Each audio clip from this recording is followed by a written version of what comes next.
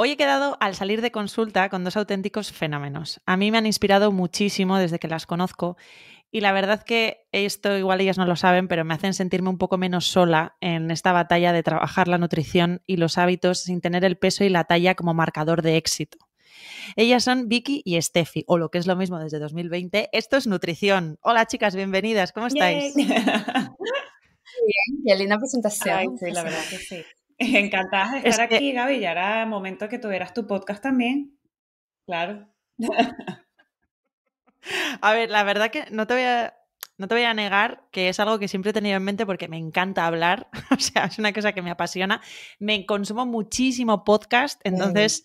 Eh, y luego también nace un poco, creo que esto no lo he explicado además, nace un poco de una necesidad paralela a la que tuvisteis vosotras, como de hablar en plata, ¿sabes? Hablar de realidad, de no, no de la, del postureo este de redes sociales, sino de lo que de verdad importa. Totalmente. Sí, al final generas un poco de, de, sí, yo creo que de hasta desconexión de toda esa parte de las redes sociales y aquí es como que sueltas y que, ah, puedo decir lo que quiera. como si nadie nos estuviera escuchando, ¿no? Sí, luego sí, sí, sí nos escuchan, pero...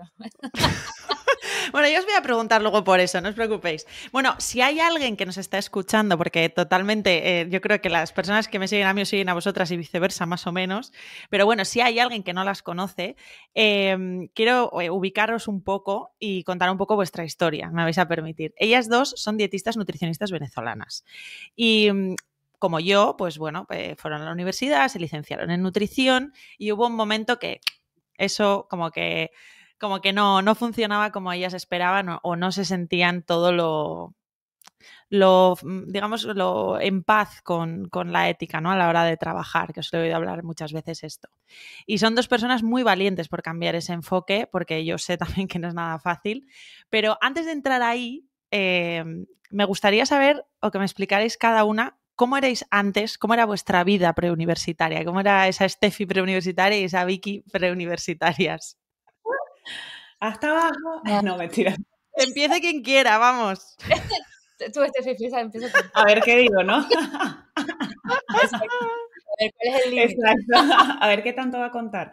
Em, no, a ver, preuniversitaria yo diría que estaba, estaba muy clara de que quería una carrera en la salud, porque no sé por qué tenía demasiado claro eso. Eh, más allá de que me encantaba el cuerpo humano, me fascinaba todo lo que pasaba dentro del cuerpo humano y honestamente hasta me, sí, hasta me planteé médico forense porque me encantaba realmente el cuerpo humano por dentro, o sea, hasta ese nivel. Te gustaba tanto que querías abrirlo directamente, quería, quería abrirlo, exactamente, quería ver todo por dentro. Sí, que sí, rara. Un momento, Jeffrey. un poquito, Jeffrey Dahmer. Un poquito, a ver, un poquito, o sea, leve. Y bueno, me fui por nutrición.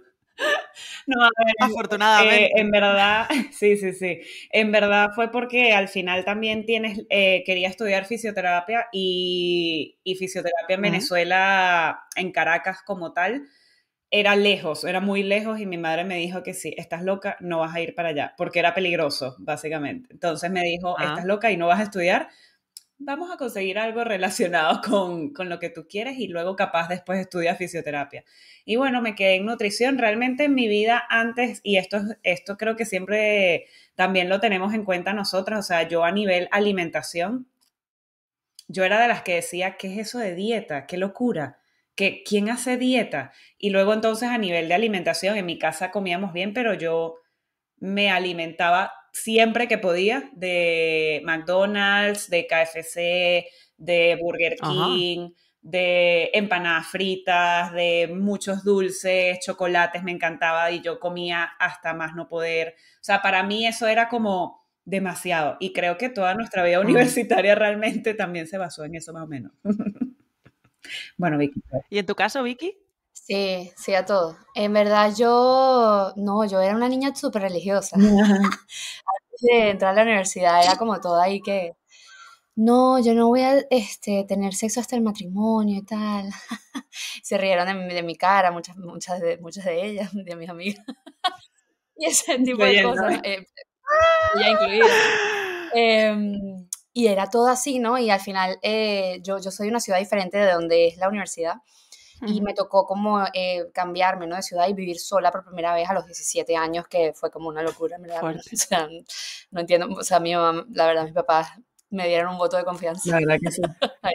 Vieron que te lo merecías, vieron que te lo merecías. yo era demasiado tranquila, demasiado. Em, hasta que llegué ahí, Hasta que conociste a Steffi, ¿o cómo fue eso? Steffi se metió en mi vida, estas otras mujeres que siempre a veces mencionábamos. Em, sí, la verdad es que obviamente mucho por contención también era, era así mi, mi, mi adolescencia y también mucha sobreprotección y tal. Entonces en la universidad estoy sola, eh, obviamente no sabía cocinar absolutamente nada, esto fue otro tema. Eh, del cual luego mucha gente me preguntaba como que, pero tú no estudias nutrición, este, estás comiendo esto, o sea, bueno, esto todo el tiempo, ¿no? Y yo puros congelados, que si cosas que mi mamá me mandaba preparadas desde la otra ciudad y tal, eh, no me sabía valer por mí misma en absoluto. Este, entonces fue como un gran golpe realmente de, de realidad. cambio de vida y mm, en muchos sentidos, ¿no? En la parte social, en la parte académica, porque también estaba muy acostumbrada a salir muy bien en el colegio, tener muy buenas notas, siempre quería estudiar medicina, nutrición, algo así. Yo quería medicina, después ya entré en nutrición y me encantó, entonces no me cambié al final. Hmm. Pero tenía como esta rigidez, ¿no? También del estudio, de la cuestión del, del, ser suficiente, buena, académica, tal, no sé qué. Y en la universidad no es el mismo ritmo, no es lo mismo, entonces también fue un golpe ahí. Y mm, como Steffi tampoco, yo siempre me preguntaba como que no sé cómo la gente hace una dieta. ¿Cómo fue vuestra vuestra bueno, infancia o antes de adolescencia hasta los 17 años, ¿cómo era vuestra relación con el cuerpo, con la comida, mm. eh, la presión estética? ¿Cómo lo recordáis? Sí, a ver, yo... Cuando desarrollasteis todo este, todo este momentazo Claro, yo siempre, por ejemplo, tuve un cuerpo muy, muy, muy delgado. Entonces, realmente esa parte nunca me afectó porque yo comía lo que sea y mi cuerpo era muy delgado. Entonces, no tenía ese mm. problema, pero tenía el problema de la celulitis y lo que, o sea, mucha celulitis, que es lo que se dice mucha celulitis, a comparación, obviamente, yo me comparaba con las demás eh, chicas, con mis, con mis amigas o lo que mm. sea. Y luego, pues obviamente que además las piernas, pues tenía un tronco muy delgado y las piernas pues eran más voluptuosas. Y entonces, claro, para mí eso era comentarios de, claro, tú no te puedes poner shorts muy cortos porque si no te ves como, como mal, no es como provocativa. Entonces eso no es lo que queremos. Y entonces yo evitaba utilizar shorts cortos porque, o chores, porque, claro, para mí lo que me decían era, no puedes ir provocando. Entonces, claro, yo no me ponía eso y eso lo, lo empiezas a pensar ya aquí. Y ya cuando vas saliendo también de cultura de dieta, porque yo todavía, hasta incluso llegando aquí, lo tenía medio normalizado. Y lo mismo con la piel, lo del acné, etcétera. También para mí eso fue un temazo porque fue como, claro, eh, tengo, para mí mi piel era la que estaba mal y yo, yo de todas las maneras intentaba taparla. De todas las maneras había y por haber. O sea, tratamientos miles, medicinas miles, etcétera. Entonces, claro. ahí es cuando te das cuenta poco a poco cómo la cultura de dieta, como sea, va entrando ahí. Sí, bueno, al final es un tipo de violencia estética. O sea, quiero decir que mm, la piel, el pelo, eh, yo qué sé, las mujeres. Yo, por ejemplo, he sido siempre muy velluda. Entonces, eso era también, ¡buah! O sea, alucina. Entonces, quiero decir, esa idea que tenemos de la belleza de la mujer, todo lo que se sale de ahí zasca, zasca, zasca, zasca, a cambiar, a tapar, a gastarte dinero, a, tener vergüenza, a taparlo y así hasta el infinito y más allá. Sí, sí, sí. Y cuídate de perpetuarlo, o sea, que decir, como veas algo, tú también lo tienes que decir. Exactamente. Sí, ¿Y en tu caso, Vicky? Si no pagas con dinero, pagas con otra cosa. Pero Hombre, que sí. Luego entraremos en eso. Sí. vale, no, yo en verdad con esto de la religión también, pues mucha culpabilidad, ¿no? Por el tema de, que la religión es culpa, básicamente. Em, y para la mujer más todavía, eh, con temas de hasta de despertares sexuales a la hora del desarrollo, era como que no. Claro. claro mal, ¿no? O sea, cero, ¿no? Y luego también, este, sí es verdad que yo, yo he vivido mucho cultura de dieta desde siempre. Eh, siento que mm, no porque a mí se me haya puesto a dieta ni nada, yo también tenía un cuerpo bastante normativo realmente, sino porque en mi casa se transpiraba mucho, ¿no? Esto de también eh, padre médico, es que como que muchos temas de, además de cirugías estéticas, sé, como muy alrededor. Yo nunca me he hecho una cirugía estética, pero al final, pero no sé, mira, un milagro, porque mm, la verdad es que siempre se me, o sea, era, era muy económico para para mí hacer eso. Claro. o sea, muy accesible, porque todos los amigos de mis padres eran cirujanos o son cirujanos. Y mm, era, yo podía decir así ya, pero no lo hice realmente. Y eso que en mi familia mm, hay mucha cirugía estética con temas de adelgazamiento y todo. Eh, y, realmente eso fue lo que yo vi también, ¿no? Entonces, para mí, eh, sí, yo siempre tenía estos pensamientos, incluso lo he visto en mis diarios de chiquita, cuando los escribía, como que, ay, qué fastidio esta barriga, o cuando llegue voy a tal, o mm, soy una cerda comiendo, ese tipo de cosas, que ahora, la verdad, me abrazo mucho y he trabajado mucho con mi niña interior porque mm. es durísimo leer todo eso, o sea, no tengo recuerdo de haber escrito eso, pero lo leí y dije, esto es muy heavy. Entonces, Claro, al final estuvo siempre allí. Mm. Em, ¿Habéis notado, vosotras las dos sois de Venezuela, ¿habéis notado alguna diferencia con la presión estética o el mundo estético, violencia estética venezolano versus el español? Porque lleváis, lleváis muchos años aquí. Uf, dice. yo, he leído de, yo he leído tuyo, Steffi, que antes era para ti impensable cuando llegasteis, porque ellas vinieron a España a estudiar un máster, ¿no? Si, si no me equivoco. Eh, se hicieron amigas en la universidad y vinieron a estudiar un máster a España. Y eh, yo te he leído alguna vez, Steffi, que para ti era impensable lo de no ir en tacones a clase, o sea, como de, ¿eh? Sí, sí, yo iba a trabajar, yo iba a pasar consulta en tacones, tú salías en la noche, tienes que llevar tacones, qué loca. O sea, ¿cómo vas a no? utilizar tacones? Claro, qué loca. O sea, claro, tu, tu pie en realidad estaba así todo el tiempo. O sea, que ahora me pongo unos tacones y es que sí, ¡ah! a los dos segundos y que qué dolor, ¿qué es esto? Mecanismo de tortura. Sí, sí, sí. Em, claro, y, y, eso se nota muchísimo. También es cierto que nosotras, por ejemplo, también vivíamos en una burbuja en Venezuela. ¿Qué quiere decir esto? En una burbuja en donde pues todo lo que es la clase media, media, alta, etcétera, se junta. Y eso quiere decir que todo lo que tú tenías que utilizar era o de marca o Sí, como tenías como unos, unos estándares. ¿no? Sí, tenías unos estándares a nivel de vestimenta, a nivel de, lo aparentar para los demás. Entonces, a mí eso siempre, eh, de hecho, esto también creo que viene de, mi madre, o sea, mi, mi, madre eso lo odiaba. Entonces, yo tampoco me gustaba absolutamente nada, pero bueno, lo hacía porque tú quieres encajar. ¿Y qué más vas a hacer? Entonces, claro, para mí salir de Venezuela, una de las cosas que más agradecí fue eso, como vestirme como me dé las ganas, ponerme lo que yo quiera, ser como, lo, o sea, ser y salir cuando, cuando yo quiera y hacer lo que yo quiera, porque eh, al final todo eso como que se está relacionado entre no solamente aparentar a nivel de lo, lo que estéticamente te ves, sino incluso como eres. O sea, que no puedes ser realmente tú porque por alguna razón u otra pues te van a juzgar, sea porque eres de lo mismo, demasiado provocativa o bailas demasiado y entonces, claro, eso está mal también, baila normalito, pero no te pases y así. Todo es como demasiadas reglas y claro, llegamos a España y eso fue que sí. ¡Wow! pero aún y todo, a ver las ailas. Claro. Claro, claro. Sí, sí, sí, por supuesto. Eso es innegable y además es universal. O sea, en todos lados hay. Y sobre todo en nuestra, nuestra sociedad más occidental, digamos, pues estamos todos permeados con lo mismo, pero, pero es verdad que sí se nota mucho el tema de las cirugías, por ejemplo, es algo muy, muy heavy. Eh, o sea, casi todo el mundo que uno conoce tiene una cirugía, mínimo, uno. ¿Sabes? Es algo. ¿Y, habéis analizado alguna vez o, sabéis de por qué tanto? De, dónde se hereda todo eso? Sí, es todo colonialismo, pues al final. es una cosa muy. Cuéntanos más. sí, es, es exacto. exacto. es muy de el estándar es el eurocéntrico, a pesar de que nosotros seamos muy mezclados en Venezuela. Eh, somos personas que, no sé, tenemos colores de todos los tipos, o sea, no hay un tipo venezolano típico que es como que esta persona es venezolana, hay demasiada variedad, mucha, mucha diversidad a nivel de, porque ha venido mucha gente a nuestro país. Exacto. Entonces, eh, a pesar de eso, y a pesar de que la mayoría de la población tiene color de piel marrón o negra, o es de, de ascendencia indígena o africana incluso, por temas de los esclavos también, claro eh, igual sigue siendo eurocéntrico el estándar. Y muy americanizado todo muy también. Muy americanizado, siempre. Mucha influencia de Estados Unidos, muchísima. De hecho, hay demasiados venezolanos viviendo en Miami. Miami es como el destino estelar de, los venezolanos. O sea, yo he ido a Disney, no te puedo decir cuántas veces, porque es como... sí, sí, es, es, a, donde, a donde miráis, ¿no? Donde tenéis puestos los ojos eh, en Sí, al final si te das cuenta también, pues toda esa cultura también tenía unos estándares bastante rígidos a nivel belleza, entonces, bueno, pues todo eso lo fuimos trayendo.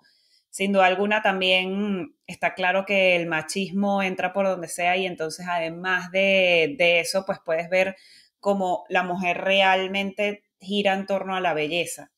O sea, de hecho, a nosotras mismas nos decían en nutrición, eh, cuando entrábamos a la universidad, o perdón, a los hospitales a trabajar ya en las prácticas, nos decía, decían los mismos médicos que estaban emocionados que llegaban las nutricionistas porque eran todas bellas. Y se emocionaban porque entraban las nutricionistas y eran un montón de mujeres entrando bellas, entonces ellos se emocionaban. Y era como, claro, no se nos toma en cuenta por, nuestro, por nuestros conocimientos, sino que y ojo, que realmente tú en ese momento te lo decían y tú te emocionabas. Porque tú, bueno, Hombre, por supuesto, por supuesto a mí estabas siendo aceptada y valorada. Exactamente, exactamente. Eso fue lo que aprendiste. Ah, y, hombre, por supuesto, tú tienes, tú sabes cuál es tu valor. Y es que es innegable. Yo no lo sé, porque a veces me hago esta pregunta. Digo, ¿será que yo pienso que es solo con, o la mayor parte con nutricionistas, porque he estudiado nutrición y soy mujer y no soy normativa y lo he vivido? O, porque les pasa también en otras carreras. Pero las mujeres nutricionistas tenemos un peso añadido, o sea, un, sí, o sea, como un, el cliché de la nutricionista. Yo, yo estoy convencida que tú pones en Google imágenes nutricionista mujer y sabes qué te aparece. Sí, sin duda. Vamos, yo no. Ya está, yo tampoco. Pero, pero quiero decir que es, es, una, es una especie también de, tu propia identidad profesional a la que te, tienes que te tienes que deshacer de ella. Es decir, es que no es mi trabajo que yo te parezca mm, delgada, atractiva, ¿no? Mi trabajo es que este cerebro sepa ayudarte, ¿no? Digo yo. Digo yo, no sé. Pero es que este, está estudiadísimo incluso, que somos los que tenemos más problemas, las que tenemos más problemas de, de, de, trastornos de conducta alimentaria, de, imagen corporal, o sea, es una realidad, es estadística. Y sí, cómo no hacerlo si, si, si, tienes ese tipo de valoración. Por ejemplo, a mí también en la universidad, como yo tengo el pelo rizado y a veces me lo planchaba, me lo alisaba, mm. eh, alguna de las profesoras me dijo, te lo tienes que alisar mejor, o sea, pintarte las raíces, porque eso, o sea, y me puso 20 cuando me las pinté, o sea, me puso la mayor nota. Ya no puedes pasar consultas sin pelota. ¿Estáis vacilando? Claro, ¿Estáis vacilando o esto es en serio en un ambiente universitario? Te lo, prometo, te lo prometo, en las pasantillas en un, en un hospital. Qué locura. Em, entonces esas cosas son así y luego también hasta dentro de la propia universidad, una profesora universitaria sí nos dijo también como que, bueno, pero ¿quién va a ir a una nutricionista gorda? No ah, sí, claro, eso era lo primero que se Bueno, pues, pues eh, mi, o sea, mi ginecólogo, mi padre que es ginecólogo, entonces que, que deje la bata, ¿sabes? No, Nada. No tiene útero, no sabe de lo que está hablando, adiós. Claro, hasta los, los, los, nutricionistas pediátricos, si no tienes hijos o eres un o ah, no eres un niño, no sabes lo que es. Exactamente, exactamente. Es que es, es, es una tontería. Una última cosa, porque mm. en el tema de por qué, por qué tenemos esto tan arraigado, aparte del colonialismo y la religión, también, o sea, somos países en Latinoamérica muy religiosos. Mm. Entonces, con esto de la religión también se mete mucho y luego es verdad que hay muchos... Eh, ya no solamente a, nivel de estándares de belleza, sino también a niveles de querer tener un estatus, un socioeconómico que no es el tuyo, porque se te ha dicho todo el tiempo que eh, hay que tener más dinero para ser feliz. Este, eh, todo ese tema del capitalismo también obviamente ha influido muchísimo en nosotros, sobre todo porque por eso de la... Por la influencia norteamericana, ¿no? Exacto. Mm, y, y, al final es que tú te encuentras cosas como, por ejemplo, como el, ¿sabes los, los aparatos estos que se ponen los breakers? O sea, los, sí, los brackets. los brackets. Em, ahí en Venezuela, en las peluquerías, te puedes ir a poner, si tú quieres, de mentira. ¿Qué? Porque eso significa que tú tienes... Dinero, eh, claro tienes para pagarlo. Entonces, esto es como lo más importante, el estatus, la, la, la, parte de la, de la, de la, de la, aparentar. Pero eso te iba a decir, porque realmente no es el estatus, es aparentar, el estatus. Sí, por 100%, 100% no lo tienes, no lo tienes en absoluto, este, pero quieres pertenecer a esto, tal. Eh, por eso también a nivel gubernamental y político han hecho lo que les da la gana, porque esto, estos contrastes, diferencias tan grandes a nivel de, de estados socioeconómicos es muy fuerte. Eh, y luego también cosas como, yo qué sé, eh, los, los, el colonialismo dentro de la nutrición, porque la nutrición, por ejemplo, en Venezuela, nosotros no comemos lo que come la, la gente en Estados Unidos, pero las guías son de allí. Exacto. O las guías son de España. Entonces, no, es que hay que poner aceite de oliva, pero ¿cómo vas tú mandar a la gente aceite de oliva? Es carísimo en Venezuela.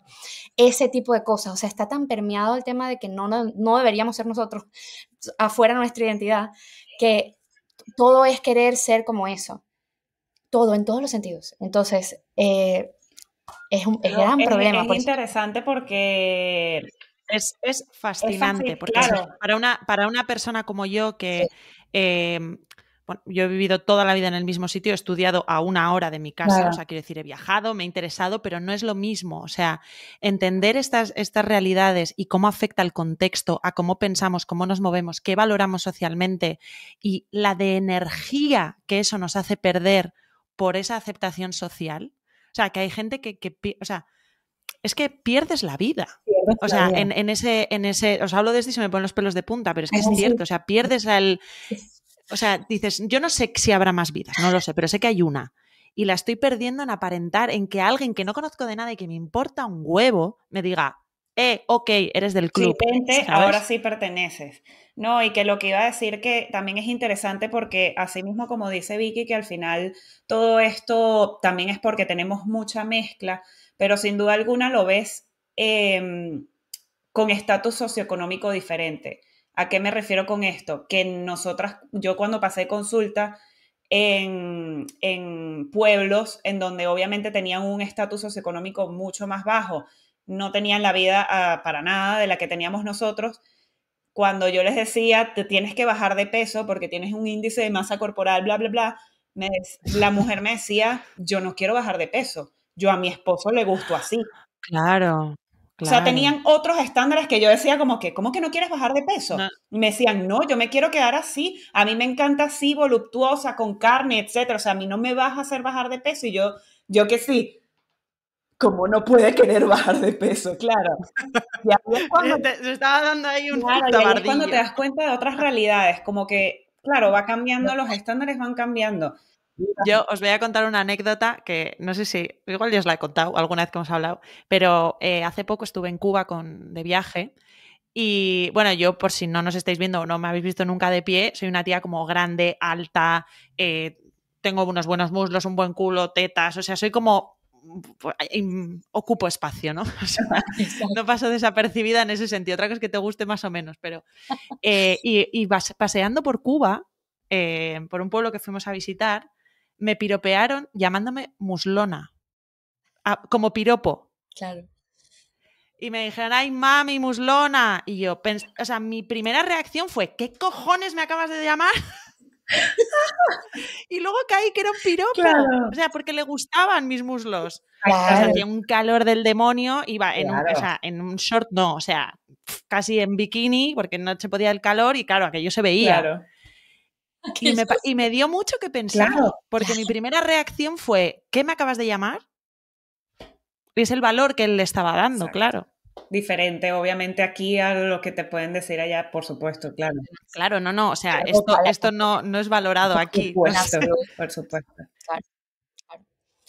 Claro. es que hasta eso se ve, eh, eh, eh, se veía el tema del culo, los muslos, tal, era como algo de negros. Antes también era como que no, eso no lo quiero yo yo no quiero ese cuerpo porque es que las esclavas vienen es Exactamente. Ahí nace mucho de estas cosas. Por eso también decimos muchas veces que cultura de dieta tiene que ser mm, antimachista también y antirracista. Y que tienes que conocer la historia, porque si no, es que no entiendes el contexto de todo y es muy liberador conocer el contexto también de cómo apareció todo. O sea, decís que em, los estándares que tenemos y lo que socialmente, a lo que socialmente aspiramos a nivel estético, todos, porque la, cultura de Estados Unidos también está, o sea, quiero decir, aquí también ha llegado y llega, y en fin, bueno, al final es, lo de la, la, globalización, pero, o sea, decís que es una manera como de diferenciarse a nivel de clase, ¿no? A nivel, eh, bueno, pues en una época en la que, pues a nivel de raza, ¿no? Porque evidentemente, eh, pues las fisionomías o las figuras son diferentes dependiendo de, la raza, que bueno, también es otro tema de las razas, pero... Em, y también eh, hablabais de, esta parte también de la, de la función que ha ejercido la religión sobre el control, sobre el no llamar la atención sobre estar controladita y el ser mujer dentro de, toda esta sociedad. Es que todo está salpicado, todo. O sea, si, si te pones a buscar la historia, en realidad todo empieza a relacionarse tanto el racismo, como dijo Vicky, el, con la gordofobia médica, empieza desde ahí. O sea, todo es no ser como o sea, básicamente no tener el mismo cuerpo de ellos porque el mismo cuerpo de ellos está mal y por tanto entonces todo eso se une a la salud y entonces a partir de ahí empieza la gordofobia médica en donde pues no queremos tener estos cuerpos.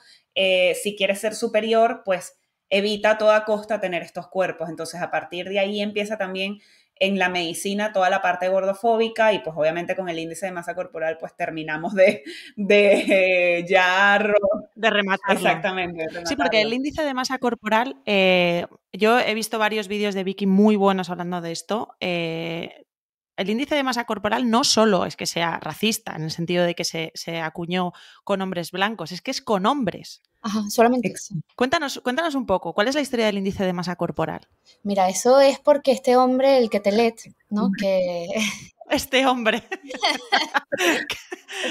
este, este mozo. Bueno, que a nivel de estadista sería buen, buen estadista, pero, pero, Exacto.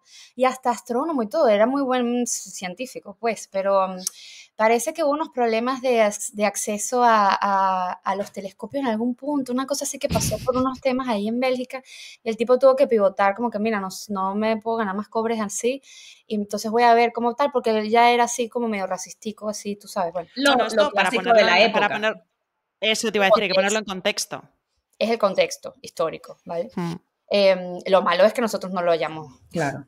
Bueno, modificado. Estamos hablando de finales del siglo XIX, principios del XX, ¿no? 1700 finales. Ah, Sí, o sea, tiene más de 200 años. 200 años. Más, más de 200 años. Y entonces él como que, bueno, no, yo siento que, y no nada más él, o sea, es que las personas que tendrían un color diferente al hombre blanco europeo eran una gente como animal, o sea, una gente que no era, que no era humana, pues, básicamente. No, no, literalmente, que no era humana, no tenía derechos. Exacto, por eso es, esclavos, ¿cómo no van a ser esclavos si esa gente está para servir? Pues? Entonces, claro, él dice, bueno, y veo que también hay, exacto, veo que también hay muchos niveles mm, de, de, crimen, ¿no? Asociados a ciertos tipos de fenotipos. Entonces, este, yo voy a revisar cuál es el, básicamente, el mejor hombre en, esta, en este estudio que voy a hacer de unos hombres blancos de aquí, creo que eran escoceses o irlandeses, no me acuerdo. Sí. Eran del norte de Europa, seguro. Eso, exacto. Que además, o sea, imagínate, ni siquiera toda Europa es igual. Y imagínate el resto del mundo. Exacto. Em, entonces él decide revisar esto con varios soldados, tal, no sé qué, y, y, bueno, él saca sus conclusiones de qué es lo superior, el hombre perfecto, ¿no? El, lo demás es una desviación, básicamente fue la conclusión. Sí, como buen estadista, quiso sacar el hombre promedio y los outliers los, los fundió ahí en el infierno. hablar de conductas en base a eso. o sea, él decía que si los hombres se ven así es porque se van a portar mejor y tienen más eh, ideas, mejores educación. Claro, mi amor, tenían más recursos, tenían más acceso, probablemente podían estudiar y ellos lo demás no. Efectivamente. Pero todo eso, claro, ya, bueno, dejando al pobre hombre que te lee que ya el tipo debe estar revolcándose cada vez que... porque eso ya no se le deja Otra vez están hablando de mí. Voy a ser soportables mujeres. no fue mi culpa. Coño, lo malo es, ah, no sé si se puede decir aquí. Puedes decir lo que tú quieras, ah, Reina. Porque a mí siempre se me sale algo. Em, lo malo es que nosotros sigamos perpetuando eso. O sea, hay, hay, hay, algunos países donde esto ya lo han cambiado, lo han adaptado y tal, y es verdad que se hizo una adaptación una vez, eh, pero no, esto sigue teniendo que, que incluir muchísimas más variables y no se hace. El índice de masa corporal, que al final no lo hemos definido, es ese ratio entre, entre peso-altura que te dice, te da un valor y ese valor te dice si eres normal o tienes sobrepeso o tienes obesidad. Que la propia clasificación ya per se es, a mí me, chirría un poco también, ¿eh? porque este rollo de sobrepeso o ¿no? Que es, una perspectiva muy reduccionista de, de la salud. Entender la salud solo por la corporalidad es bastante, se queda bastante corto. Sí, más aún cuando, cuando realmente a día de hoy a día de hoy se sigue patologizando el término sobrepeso y obesidad. Exacto. Eh, estás patologizando un cuerpo, básicamente, porque bueno, al final también la gente repite como loro y esto es una realidad. O sea, es un, es un paradigma en donde demasiados años se, ha dicho que la obesidad es una enfermedad, que el sobrepeso es básicamente lo mismo, entonces pues la gente lo repite y además pues ahí es cuando empiezas a escuchar a los defensores de este paradigma en donde pero ¿qué estás hablando si la obesidad es una enfermedad? pues es normal, o sea, si eso es lo que te enseñaron desde pequeño, pues obviamente se sigue patologizando los cuerpos y como tú dices, o sea, es, que es una fórmula que no se tiene en cuenta absolutamente nada, es tan reduccionista, tan simplista, o sea, no tiene ningún sentido, pero bueno. Lo que pasa es que es, es cómodo, por ejemplo, yo pienso, pienso es práctico, porque eh, a nivel de investigación es práctico. Te, te, permite hacer relaciones súper fáciles, ¿no? Porque no tienes que tener en cuenta las 58 millones de variables que hay eh, en estudios sobre nutrición, por ejemplo, y salud. Que claro, nos, cogen a las tres como sujetos de un experimento y tú me dirás que tenemos que ver. Pues algo sí, pero no todo. Entonces es muy complicado. Yo a mí me pasa, y, me, tengo mucho, mucha curiosidad cómo, cómo, habéis vivido vosotras esto. Claro, nosotras las tres hemos ido a una facultad de nutrición, ¿no? Hemos, estudiado una carrera, eh, quiero decir, más masticado el cerebro que el nuestro en este discurso, habrá pocos mm. profesionales.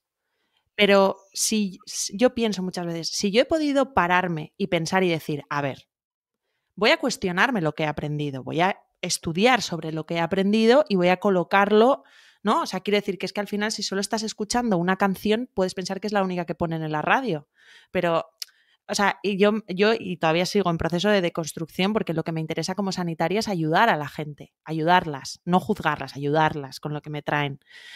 A mí me, me cuesta un poco,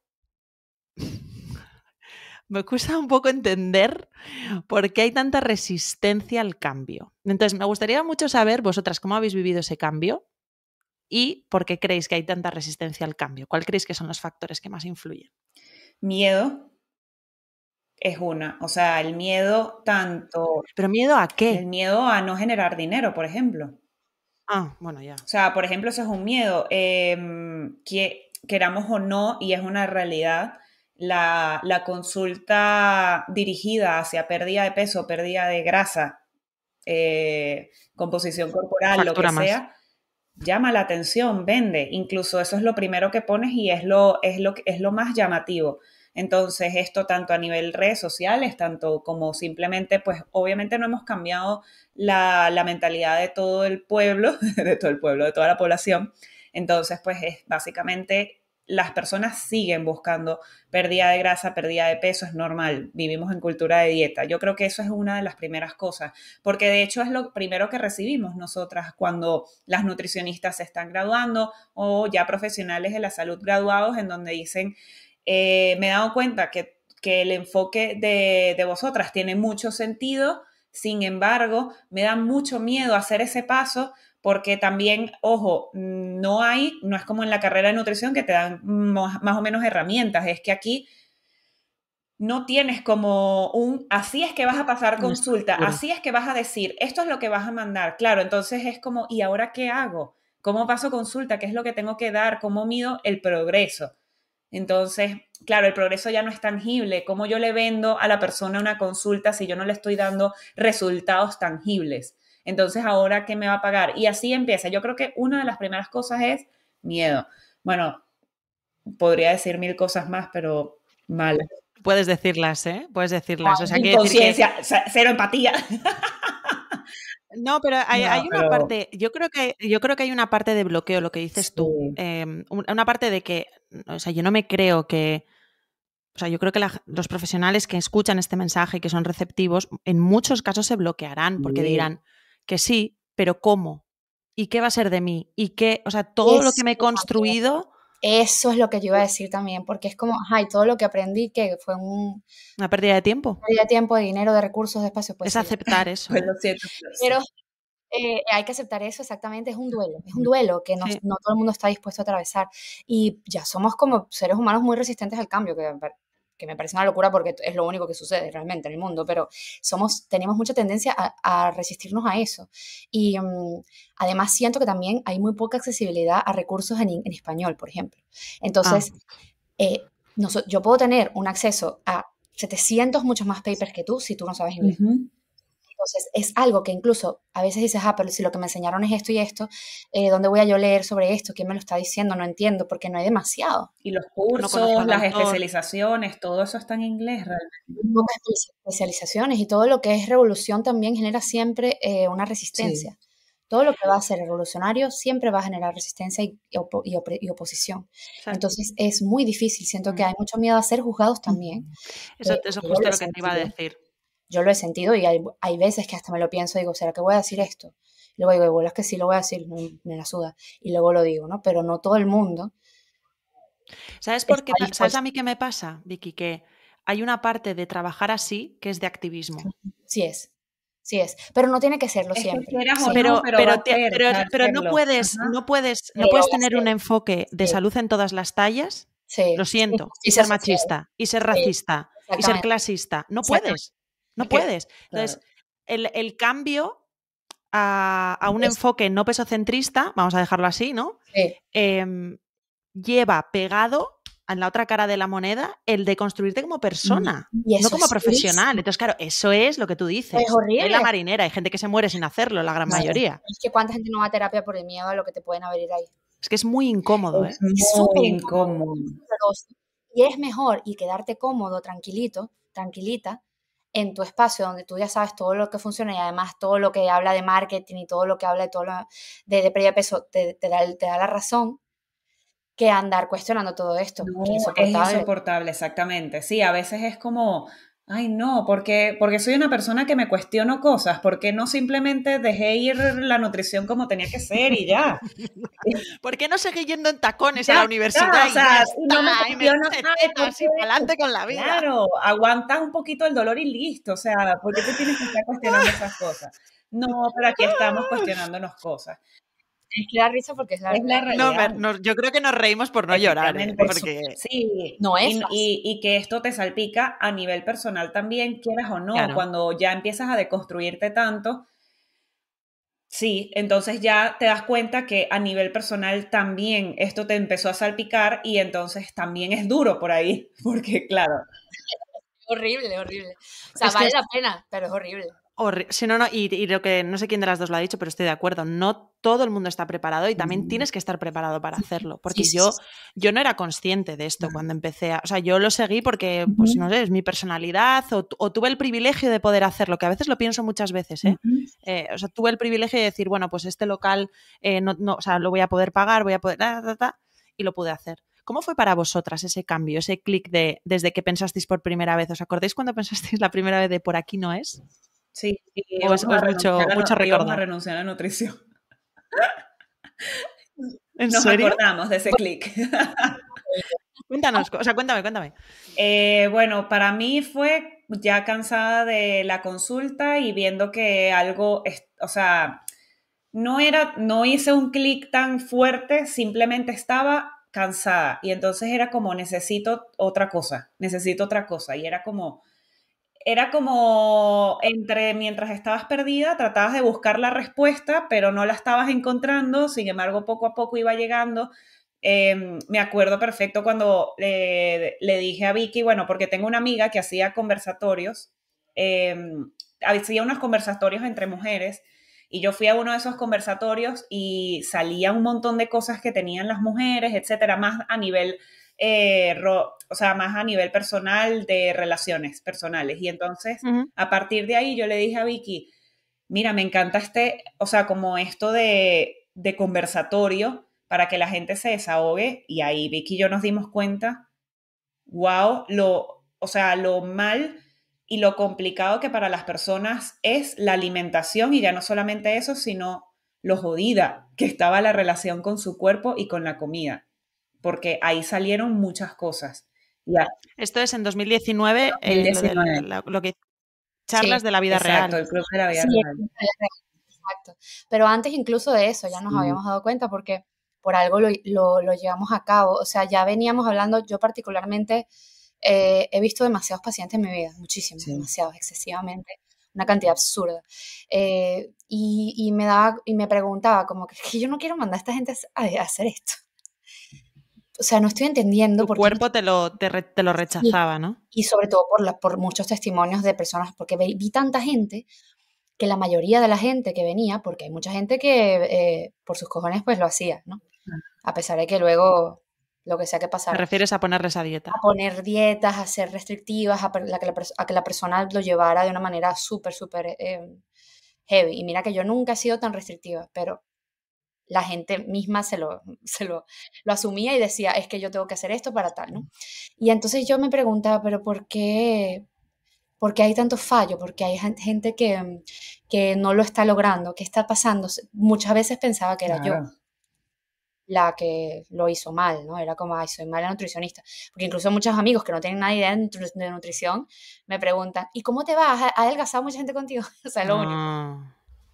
Entonces esa era como la vara de medir y luego también hablando con Steffi, hablando con otras amigas o, yo qué sé, nos encontramos con esto. Realmente con la que más eh, pude, hablar fue contigo, Steffi, porque realmente era como la que ya tenía ese malestar. Claro, como que íbamos a la par, exacto. Como que estábamos ahí me cuadra, yo, por ejemplo, yo le decía, ya yo no estoy usando calorías ni siquiera, tú usas eso, no, tal, yo tampoco, yo tampoco estoy, ya yo, yo, no, yo no sé ya ni lo que estoy haciendo, pero yo no estoy haciendo lo que Ya no sé qué decirle, ¿sabes? lo, que, lo que debería estar haciendo, lo, que, me han enseñado en la facultad que debo hacer. Eso es, el canto de calorías, los intercambios, este, todas estas cosas que nos cuentan que deberíamos hacer, eh, y luego también la, la, medición o digamos el progreso era por el peso. La corporalidad. Entonces yo mm, cada vez que veía personas que no, que estaban genial, que estaban en el momento de su vida haciendo todo súper, haciendo ejercicio desde el, desde el, desde el disfrute, mm, cuidándose, pero no, la idea era que siguieran bajando de peso. Entonces había algo que no me cuadraba ya ahí.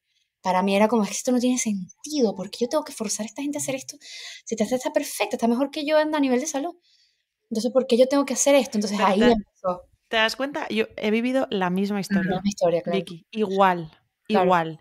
Y a día de hoy todavía me tengo que trabajar mucho el, volver a ponerme en el sitio donde, donde quiero estar, lo que es ético y moral para mí. Y, y hecho la vista atrás, no sé si, si a vosotras os pasa, porque ambas han escrito libros, hecho la vista atrás y veo cosas que yo he escrito, que yo he dicho, me pasó con la web. O sea, imaginaros lo que os digo. Y digo, ¿cómo? Cada una vez que te pones las gafas y ves, lo ves todo el rato. Y entonces te das cuenta que a mí por lo menos me pasa, que a pesar de que desde el minuto uno que yo empecé a ejercer siempre he tenido una visión de que esto me olía chamusquina desde el principio, ¿no? Pero todavía me quedaba mucho recorrido y todavía supongo que me quedará, porque leo cosas y digo, a ver, o sea, mis dos libros se llaman Sin dieta para siempre y Hacer dieta engorda, vale, estamos de acuerdo con eso. Pero la ejecución todavía yo creo que en ese momento no la tenía del todo clara como la tengo ahora. Porque es, difícil, o sea, porque de, de, alguna manera estás un poco alienado trabajando. Por supuesto, y además es lo que comentaba Vicky, que, que es la vara con la que se te mide. Entonces, lo primero que te preguntan es cuánta gente ha adelgazado contigo o, o claro, si de repente tienes a alguien conocido que está yendo al nutricionista, el nutricionista eres tú y te dice, ah, pero te ves bien, ah, entonces sí es buena nutricionista, te ves bien, pues porque obviamente eh, ha cambiado a nivel corporal. Entonces, por supuesto que que quieras o no, esto es un tema que tú vas a hablar porque tú ves que, bueno, que tiene como ese, ese engagement, por así decirlo. Entonces, sí, yo creo que ah, el, el, libro de Vicky es más viejo, el mío fue como en ese proceso, cuando nos empezamos a dar cuenta del Club de la Vida Real, que había muchas cosas y también es cierto que en ese momento era cuando justamente estábamos muy agotadas, muy agotadas y empezamos a buscar otro camino. Entonces, mi libro más o menos se abre en, ese aspecto. De hecho, el último capítulo siempre decía que era el que más me encantaba porque yo hablé de todo esto. Sin embargo, los otros capítulos los hice mm, relacionados con nutrición deportiva, enfocado en si quieres perder grasa, aunque desmonte un montón de cosas, todavía puedo leerlo y digo, claro, esto capaz, como que no lo diría ya. Esto, esto me hace sentir un poco más acompañada, ¿eh? Porque ha habido puntos que me dado vergüenza. Por supuesto, por supuesto. Pero que ahora estoy más en el, en el esto hay que decirlo y hay, que, hay que contar también nuestros propios procesos, ¿no? Sí. Yo de hecho hice un reel no hace mucho en el día del libro porque San Jordi porque yo porque yo sentía que era como algo que, que quería hacer que sacar. y desmontar, como que leer mis propias cosas y decir, mira, ya yo no creo en esto, mira, esto me da súper cringe, o sea, me da grima, eh, esto, mm, ¿qué coño estaba pensando? Así, ¿no? Porque yo en ese momento, y yo, yo soy así, o sea, yo ahora estoy, yo me he abierto mucho a la vulnerabilidad. Hmm. Entonces es como que, mira, me la suda, ya yo voy a hablar de todo esto y voy a hacer lo más real posible porque primero siento que yo lo necesito, como hmm. yo hablarlo. Sí. verbalizarlo para estar bien conmigo. Y luego también porque siento que yo lo habría necesitado en ese momento también, haber visto a alguien que, era como real con esto y que dijera, coño, yo me equivoqué. Eh, y siento que el, no admitir y el no hacer las paces con equivocarnos y con cometer errores es muy de cultura de dieta también. Es muy de... es perfeccionismo, ¿no? Perfeccionismo, es obsesión, es todo esto. Entonces yo creo que el reconocerlo eh, abre, abre mucho la posibilidad de que otras personas también eh, puedan darse cuenta eh, de que hay una evolución, de que no tienes que siempre ser perfecto, de que te puedes equivocar, de que pueden haber limitaciones hasta como profesional de salud que nos tienen muy aquí y somos seres humanos y ya, porque además es una presión grandísima que nos tengan ahí. Claro. Y yo siento que hay que hacer también como ver ese camino, pero también desde la compasión, ¿ah? porque si no, si es muy crítico, también resulta como muy agotador, sigue siendo demasiado agotador. Yo, yo lo intento hacer desde la amabilidad, porque eso es lo que yo pensaba en ese momento, es lo que podía hacer con lo que yo tenía en ese punto. Ahora ya es otra cosa. Y seguramente en cinco años sea otra cosa. Y no pasa nada. Y todo eso es lo que ha hecho que yo haya llegado hasta aquí. Entonces lo, lo abrazo y lo celebro, ¿no? O sea, y sobre todo porque no sabíamos lo que no sabíamos. Claro. Que ese es un punto súper importante. No habíamos llegado a ese punto todavía. Sí, sí, Es que ¿quién nos dijo eso? ¿Quién nos ayudó a llegar hasta ese punto? Tuvo que ser una cosa que tuvimos que encontrar nosotros. A mí, a mí me, he sentido muy acompañada por vosotras, os lo he dicho, y otras compañeras también, porque, eh, claro, vosotras podéis hablar entre vosotras, pero yo es una cosa que eh, decía, pero es que igual es que a mí se me está yendo la olla. O sea, porque te cuestionas cosas como. Te vuelve, no, de verdad. O sea, yo. A mí había momentos que me dolía la cabeza de pensar de este tema, porque me obsesiona mucho el, el, poder ayudar de una manera ética. Y entonces, claro, cuando le das esa dimensión a la ayuda desde una consulta sanitaria, de decir, te voy a ayudar como persona en lo que yo pueda como nutricionista. No me voy a meter en campos que no son míos, obviamente. Pero creo que esas realidades y, y entender qué atraviesa a la persona que tienes delante, lo que hablábamos del contexto eh, socioeconómico, contexto familiar, em, historia de su pueblo, no sé cómo decirlo, mm. es fundamental para ayudar. Em, y al final lo que la gente quiere, igual, igual lo que están pidiendo es una dieta para adelgazar, pero yo siempre he pensado que, El, pedir... Hay más allá y que, y que muchas veces el querer adelgazar en un 90 y muchos por ciento es querer ser aceptado, escuchado y entendido. 99,9%. Por supuesto, por supuesto. Y, os he preguntado por, experiencias así de clic y tal y de, desorientación, pero me gustaría saber cómo lo vivís ahora, o sea, qué experiencias positivas habéis vivido con, este nuevo enfoque o cambiando la manera de trabajar hacia algo más ético para vosotras. Yo creo que los mensajes, em, tanto mensajes o lo que nos pueden decir, la diferencia la diferencia del agradecimiento, yo lo noto muchísimo porque antes en verdad podías como, bueno, de hecho, esto es un, un chisme, por así decirlo. Mi, novio estuvo eh, gestionando las redes sociales en el 2021, más o menos. Eh, sí, creo que 2021 más o menos. Las estuvo, yo le dije como que, bueno, tú responde mensajes, si ves mensajes, y claro, él hacía como capturas de pantalla de los mensajes y me decían como que, o sea, él estaba como, Steffi, Dios, o sea, ¿cómo tú recibes esto? ¿Cómo recibes esto a diario? O sea, pero no, mira qué bello lo que te acaban de decir, no, mira esto. Claro, eran párrafos enormes de gracias por haber abierto este camino que tanto tiempo haciéndome daño, tanto tiempo luchando con algo que, que, finalmente me acaban de decir, eso no es así, hay otro camino. Entonces, claro, los mensajes realmente que recibes, em, también te das cuenta que uno, no hay vuelta atrás por todo lo que aprendiste, pero aquí sin duda alguna no hay vuelta atrás, porque te das cuenta que realmente no todo el mundo va a llegar a, ese, a ese punto, no todo el mundo va a llegar a ese camino, pero la gente que llega, uh, es, es como liberador 100%. Entonces, para mí eso em, me he dado cuenta que sí, la diferencia de gracias, me ayudaste a comer sano, etcétera, a párrafos gigantes de me cambiaste la vida. Claro, entonces eso es como, wow. O sea, así sea una persona que me diga esto, ya estoy como listo, ya está. Y, le, da, le da sentido a todo, a mí me da como gasolina, porque a mí me pasa, igual la Vicky también, no sé, eh, que claro, todavía hay gente que incluso como clientes, o sea, dicen, sí, entiendo lo que me estás diciendo en redes sociales, me gusta, pero hay mucha gente que todavía no está preparada para soltar la metodología de dieta. No está preparada y es normal y es entendible. Y a veces esa gente llega a, pedir, a pedirte ayuda a ti o llega a, vuestras plataformas de estos nutrición, os pone comentarios en Instagram o lo que fuera, que dices, es que no te puedo decir porque ahora mismo no vas a entender. O sea, es como una especie de, tienes que estar también en el punto. Sí, 100%.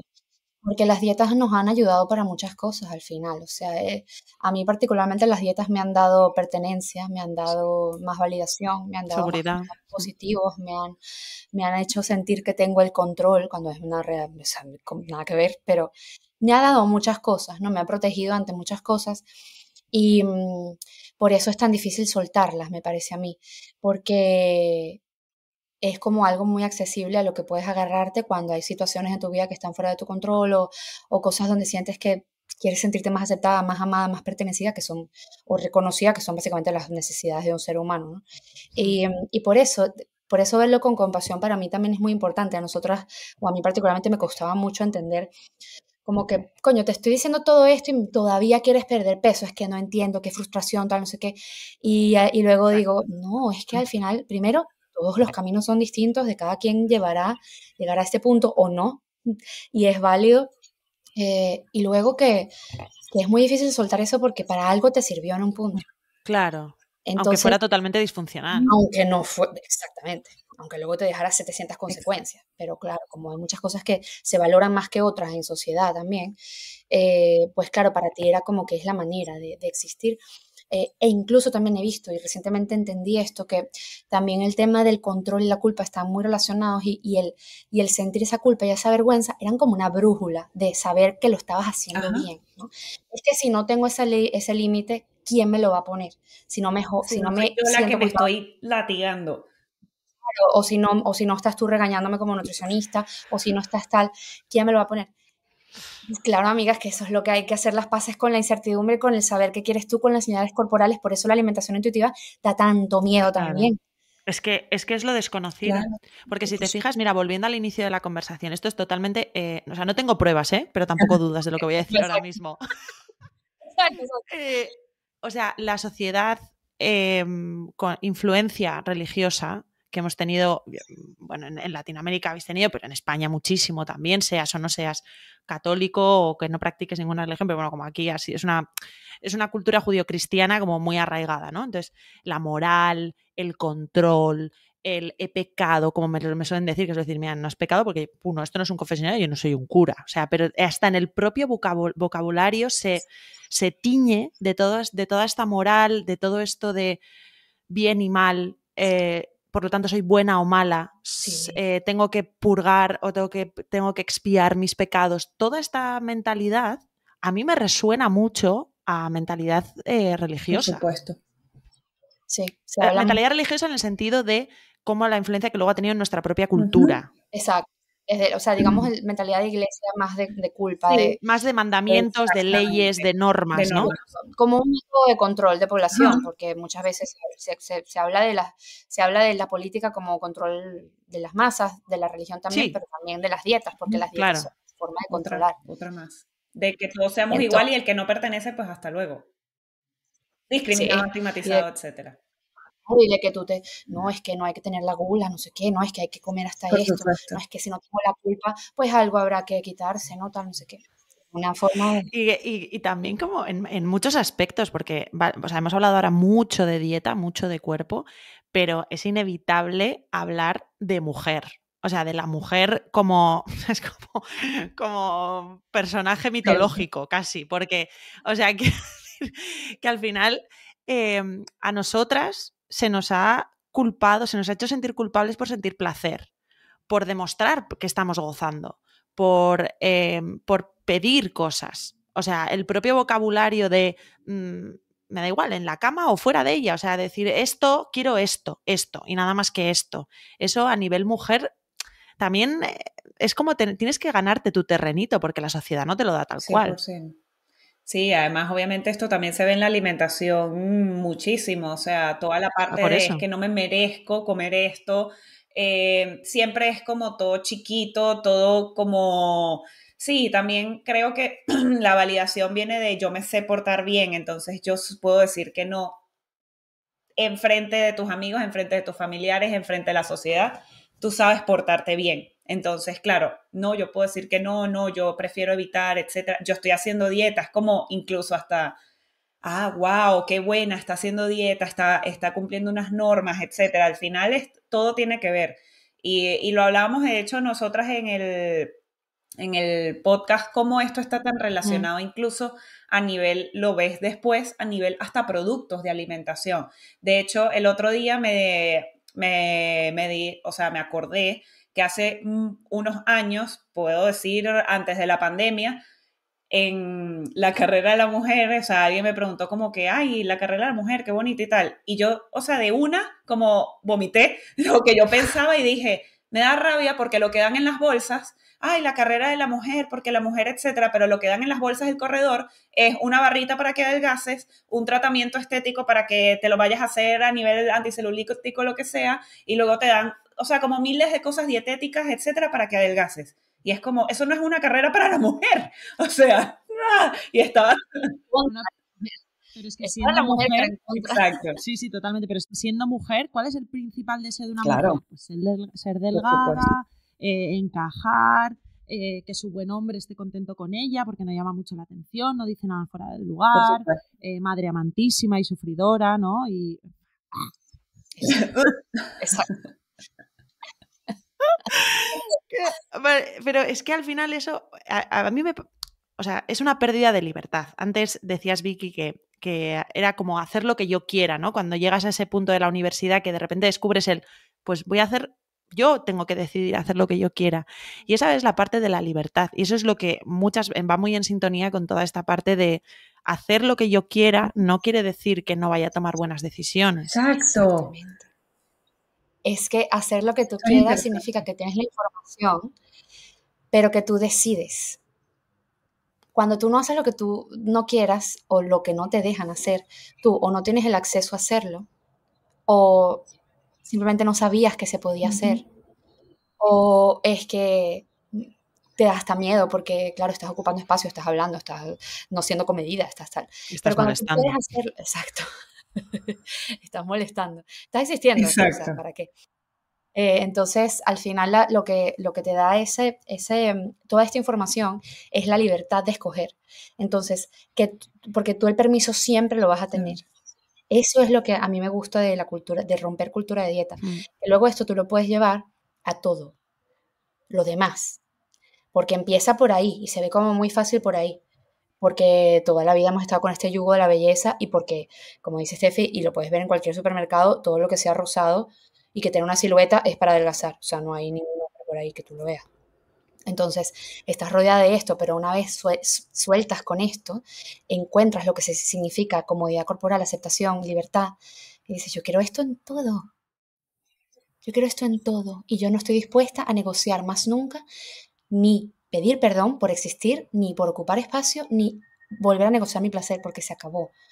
Porque todo lo demás me estaba cegando. Como enjaulada. Importante realmente. Que lo importante realmente no es que alguien me vea y me vea y diga, ay, qué bello tu cuerpo. No, yo no vine a este mundo para eso. Ni para ser bella para Ser bella, exactamente. No, O sea, yo vine a... Pero fíjate que es algo que no estamos, no es una reivindicación de pedir la luna, no es pedir sobre otros, es pedir sobre ti. O sea, estás pidiendo derecho a ocupar un espacio, tener una voz, em, ponerte en una situación de decir, eh, esto es lo que necesito, para eso tengo que identificar lo que yo necesito, no lo que, tengo, lo que me han hecho creer que yo necesito, porque yo quizás creo que necesito, em, yo qué sé, me da igual, eh, tener un montón de ropa, pero realmente no es lo que yo identifico que yo necesito, ¿sabes? Entonces, al final es, vivir una vida en sintonía em, con, tus valores, con tu ética, con tu espacio y, estar, y vivir en paz, que tampoco, tampoco es pedir estamos Pidiendo demasiado, o sea, estamos pidiendo lo lógico, digo yo, no sé. Pasa que como no, se lo, no lo teníamos, ahora cuando uno levanta la voz y dice ciertas cosas que, que nadie había cuestionado, es como, ¿para qué habla esta? Es una loca o no entiendo por qué pide tanto, tal. No, estoy pidiendo lo mismo que tú tienes. ¿Vosotras recibís mucho hate? Depende del tiempo, de la depende época. de- Depende de la época. Yo creo que sí, es verdad. O sea, a ver si es cierto que al principio sí recibimos mucho hate, pero porque, claro, estábamos justo en el momento de rompiendo paradigma. Ahora, como ya cada vez hay más comunidad y cada vez hay más personas que han cambiado el enfoque, entonces se va entendiendo. Pero al final, nosotras, 2020, empezamos ya hablando de esto, 2021, y claro, más de, más de una cabeza se estaba rompiendo y pues obviamente recibíamos ese hate de que están diciendo ahora, o sea, se volvieron locas estas. E incluso hasta a nivel familiar y amigos eh, nos volvimos locas, o sea, nosotras nos fuimos, nos volvimos locas, nos volvimos locas. se nos fue. Y entonces, claro, al final ah, sí es cierto que antes recibíamos mucho más. Yo doy igual que, o sea, súper de acuerdo con Vicky, al final es dependiendo de la época y también dependiendo de lo que lancemos en esa época, porque claro, el más, el más reciente, por así decirlo, que ni siquiera es reciente, fue el año pasado, fue el de el que hicimos en Frida, Ajá, el del azúcar. Lo vi, No, lo vi. Claro, o sea, la can... No, no, es que ni nos los esperábamos, fue como, no entiendo nada. Cuando pensabas Bueno, que algo había avanzado, la sociedad nos No, dimos no. cuenta que absolutamente no. Y más cuando un tema tan salutista como es el adicción al azúcar, que es un tema súper salutista. Mm. Es como estás diciendo que, no sé, que Está rompiendo el status quo. claro. O sea, al final también cuando te pones a hablar en una plataforma que no tiene tu público habitual, que no sabe de dónde viene tu mensaje, que no ha entendido, que no se ha preocupado por saber, es como si de repente nos ponemos las tres aquí en la mitad de la plaza que tengo delante a empezar a decir eso, Exacto, ¿sabes? exactamente, qué loca. Eh, entonces, claro, nos- n- bueno, pues sí, nos dirían, a ver, estas por favor, que alguien se las lleve, ¿sabes? Ahora mismo en una ambulancia al hospital Tal psiquiátrico. Pero, pero es, porque sales de la, sales del foro. Sí. Sí, y también decir que muy relacionado con lo que, con lo que estamos hablando, por ser mujeres también ¿no? Eh, Molesta también, sí. molesta mucho. Claro. Porque Hombre, porque hay mucha gente que, es- que tiene muchas ganas de explicarnos un- par de cosas. claro, Uf, muchísimo, muchísimo. Eso está claro. no, hay muchas cosas y eso que no se han leído un libro desde los 90, pero no importa porque ellos están aquí para deja- darnos a conocer el camino de la luz. El otro día hay una, no sé quién lo puso, pero me hizo mucha gracia, que era como, ha llegado un punto a las redes sociales que no pienso discutir algo de alguien que no sabe diferenciar una bacteria de un virus. O sea, porque es como, o sea, tengo que empezar, o sea, y ya, si siendo sanitario a veces es complicado por todo lo que estábamos hablando de las barreras que te encuentras como profesional y como persona, ya a- un comentario random en redes sociales, mira cariño, es que no, no, o sea, no. No, ya no. No, porque a A- mí por- te va la A vida. nosotras profesionales de la salud, bueno, compañeros de nutrición, nos ha dejado de seguir un montón. Y hay veces que no nos avisan, pero otras veces que sí. Ya, bueno, a mí también me pasa. No, Sí, o sea, quiero decir, eso, yo eso es una cosa que acepto, Sí, ¿eh? O sea, quiero decir que es que, sí, sí. que mm, bueno, es, lo, es que es ah, por referenciar lo que hablábamos al principio, es que eh, en parte hasta lo entiendo. Yo también. Entiendo la incomodidad, es que la entiendo perfectamente. Y entiendo el desconocimiento y entiendo que igual no estás preparado o preparado para, para meterte ahí. Hablabais antes, eh, porque sé que si, vamos, o sea, si no siguen ya, lo van a hacer y, habéis sacado algo que me encanta y quiero hablar de ello. Eh, en 2020, como decíamos, hacéis, lo hacéis oficial y creáis esto es nutrición. Eh, ¿Cómo definiríais esto es nutrición? Para quien no lo conozca. Uf, ha dado muchas vueltas también y es una... Ahora, Claro.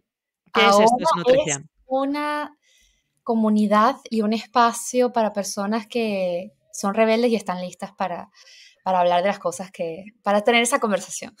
Tipo la que hemos tenido ahora, ¿no? Me Sí. imagino. Exactamente. Sin quemarse, ahora también queremos que sea lo más ligero posible, que, mm, que sea divertido, que, que se sienta como un espacio seguro. Es lo que más, más nos interesa y lo que, y lo que creemos que hemos conseguido porque eh, cuando escuchas nuestro podcast o entras a, a nuestra membresía o simplemente revisas nuestros posts, estás en un espacio donde te estamos entendiendo. Y no tienes que pedir perdón, no te tienes que justificar, no te, vas a- no te vamos a juzgar por ser quien eres. Y, mm, y esa es la base de lo que queremos y hacerlo también además con conciencia detrás, ¿no? Siempre que tenemos como esa, como esa premisa de que lo que estamos hablando aquí no es, no es, no es tontería y, mm, y no nos vamos a callar por el hecho de que tú no conozcas sobre esto. Entonces es como un espacio para hablar y para ser escuchadas de- desde, este- desde esta perspectiva fuera de cultura de dieta, ¿no? Qué bonito, yo soy súper fan. Ay, qué O sea, lindo. o sea, de verdad. eh, entiendo mínimamente por todo lo que habéis podido pasar, porque creo que es bastante para la historia y sois unas campeonas, tío, de verdad. muchas gracias, muchas, muchas gracias. Habéis lanzado una membresía que se llama El Recreo. Em, ¿Qué pueden encontrar en el recreo? Que no pueden encontrar en el recreo. Ah, sí, porque una cosa que quiero que me expliquéis, eh, en la página web aparecen temas como que no tienen a priori nada que ver con alimentación. Habláis de salud financiera, de burnout, de como de quemarte de, la vida en general. Sí, es que esas ¿Por qué los incluís aquí? ¿Por qué es tan importante? Porque, bueno, como dijo Vicky, al final en, también en el podcast fuimos, fuimos teniendo esa evolución de ya no hablamos solo de nutrición, ni de gordofobia, ni de estigma de peso. Ya empezamos a hablar otros temas que también salpican por cultura de dieta. Entonces ya empezamos a hablar de sexualidad ya empezamos a hablar de adicción, ya empezamos a hablar de, todos estos temas que realmente antes no, no, se relacionaban o no se podían relacionar. Entonces, bueno, o la gente no los relaciona y nosotros tampoco. Entonces, a partir de aquí, nosotras abrimos el recreo para hablar ya no solamente romper con cultura de dieta, sino en todas las áreas, romper con toda esa mentalidad de escasez, con toda esa mentalidad de rigidez, con todo ese perfeccionismo. No, ya vamos a empezar a, a, preguntarnos qué es lo que realmente quieres tú, qué quieres tú para tu vida, qué te gusta, qué te genera placer. Y a partir de ahí, pues entonces, obviamente vamos a dar, aparte de otras cosas que en, eh, en la membresía hay, en esta membresía los webinars, por ejemplo, es como ese espacio en donde vas a tener diferentes expertas hablándote, por ejemplo, cómo regular sistema nervioso, porque esto lo pasamos nosotras también, el burnout. O sea, al final fue un proceso porque obviamente, además en pandemia, eh, incluso aún más porque estabas metida en casa todo el tiempo y por tanto estábamos trabajando todo el día. Y había agotamiento, había cansancio, entonces esto, bueno, yo creo que eh, un porcentaje de la población demasiado elevado lo ha vivido en algún momento y está en este cansancio continuo. Y luego entonces además, pues también no solamente tenemos los webinars, sino que tenemos como una especie de reunión grupal mensual para que nos conozcamos, para que podamos hablar, para que podamos resolver dudas, contar historias y hacer un poco de networking también. Hay un foro para chatear, que esto era algo como que queríamos demasiado, que no fuera como tienes que bajarte Telegram para poder chatear, sino aquí hay un foro donde puedes comentar lo que tú quieras, poner vídeos. Un foro seguro, que, al final es tan necesario. Un foro seguro, exactamente. Y luego entonces además hay una biblioteca de recursos, ya que le damos diferentes PDFs o recomendaciones de libros, podcasts, etcétera. Todo basándose en que todo es un enfoque inclusivo y que obviamente es un espacio seguro, que es lo que más queríamos, porque así como tú comentabas, Gaby, al final en este camino yo tengo a Vicky, pero si vamos a suponer no la tuviera, es que me siento 100% sola. Entonces, ¿cómo hago para conocer otras personas que realmente están también abriendo su mente y encontrando otro camino, también rompiendo un poco lo que es el paradigma de antes? Y mm, la gran pregunta es, ¿cómo os veis en el futuro? ¿Cómo os veis vuestra evolución? Wow, complicada. ¿O cómo os gustaría? ¿Cómo os gustaría?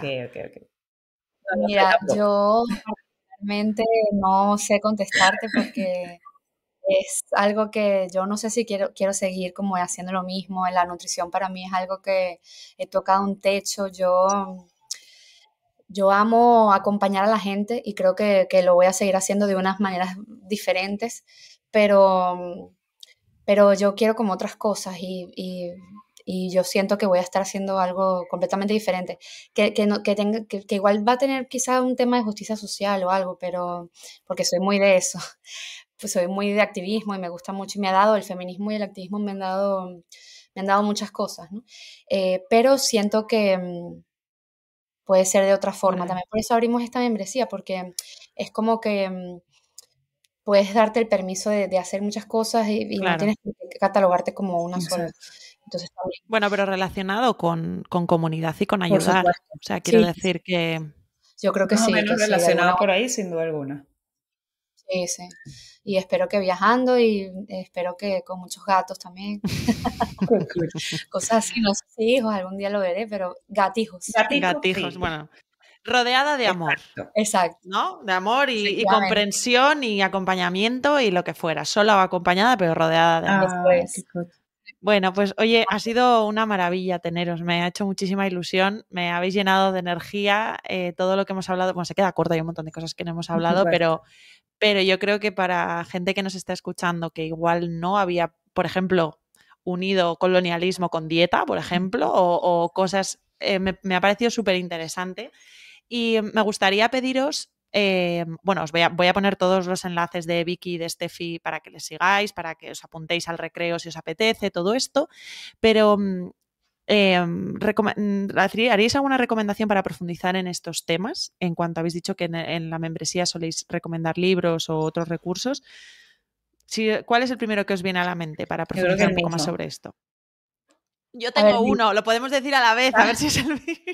No, es que yo siempre creo que el primero con el que hay que empezar a ver, es que el problema es que están en ingleses, en ingleses, en inglés. Son diferentes ingleses, claro. Diferentes ingleses que, bueno, escribieron el libro. No, el cuerpo es una disculpa para mí, es como un básico. Está en castellano. ¿eh? Claro, está en castellano y este es un básico, o sea, es para empezar a abrirte un poco. De hecho, puede ser que llegue a ser un poco incómodo y tengas que frenar la lectura y luego otra vez volverla a, leer, incluso hasta leyéndola seis meses después que la volviste a leer, ya entiendes incluso el libro de otra, desde otra perspectiva y ya lo empiezas a internalizar un poco más, pero para mí eso es un básico.